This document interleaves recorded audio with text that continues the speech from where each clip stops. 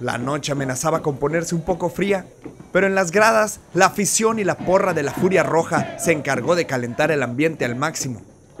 Banderas, humo, luces, cuetones, de todo para animar al equipo de casa, el cual les quedó a deber.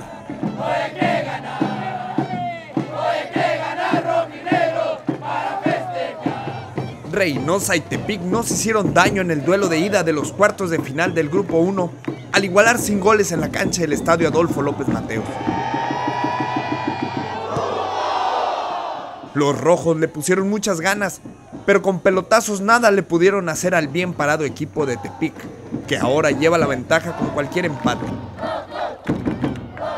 Si el Reynosa FC quiere avanzar, tendrá que vencer el próximo sábado al equipo de los Coras en su propia cancha. La intención del conjunto rojo fue atacar en todo momento. El problema fue que lo hicieron sin idea, sin profundidad.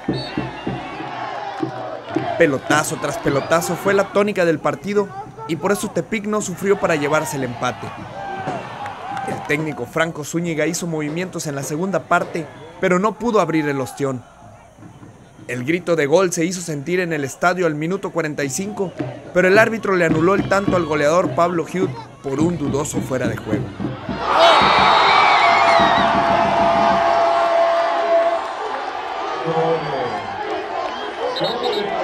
Para el Mañana TV, Alberto Gamboa.